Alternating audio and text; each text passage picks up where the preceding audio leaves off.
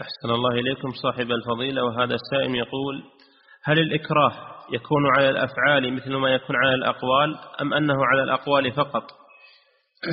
على الأقوال. ظاهر النصوص أنه على الأقوال فقط لا على الأفعال بدليل قصة الذباب. قصة الذباب هذا فعل ولم يعذر صاحبه.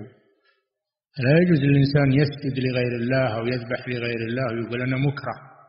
هذا ما يجوز. نعم.